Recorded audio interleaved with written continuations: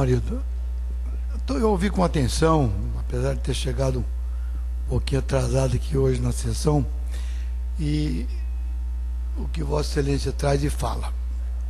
E eu tenho facilidade em lhe fazer uma parte. Primeiro, as questões de indígena. Eu defendo justiça. Defendo, evidentemente, que os índios, na visão, na minha visão e na visão de todos os brasileiros, é, eles, é, eles são a parte mais fraca. Eles, eles, precisam, eles precisam de proteção. Mas a proteger, proteger dentro da lei.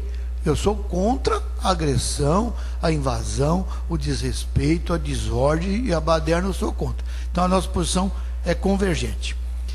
O deputado Pedro Kemp está aqui na casa desde o primeiro mandato em que eu também me elegi.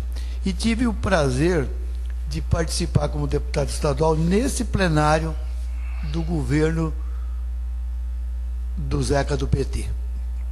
Vossa Excelência também esteve junto.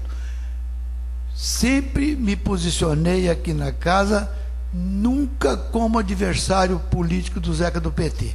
Ele PT e eu democrata, mas tudo, todos os projetos de benefício para a sociedade, área social, infraestrutura, tu, eu sempre estive votando em benefício do Estado de Mato Grosso do Sul, desses projetos que para melhorar a qualidade de vida, melhorar a, a, a, vida das pessoas.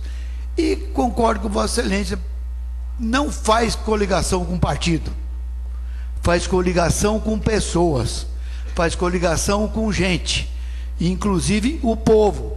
E o que nós estamos fazendo no Mato Grosso Sul, andando e ouvindo o povo. Eu estou andando no Mato Grosso do Sul junto com o Reinaldo Zambuja, num projeto pensando no Mato Grosso do Sul. Como ele fez um projeto aqui em Campo Grande, que concorreu à eleição, à eleição municipal e perdeu. E eu não tenho nenhum constrangimento, nenhuma preocupação de fazer uma aliança amanhã com o Partido dos Trabalhadores na pessoa do Delcídio Amaral com tranquilidade e posso ajudar a construir um Estado melhor.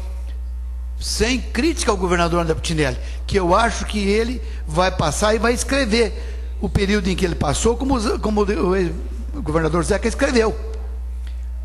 Na gestão do Putinelli, eu estou aqui na bancada dele, na, na bancada de sustentação, e acho que, como administrador, ele vai deixar escrito aquilo que foi possível o Estado de Mato Grosso fazer na sua pessoa e quero ajudar a participar é, de um grande projeto, não meu e nem do futuro governador, e sim um projeto para as pessoas que residem em Mato Grosso do Sul, ajudando a construir um Estado melhor e que todos nós sonhamos. Muito obrigado.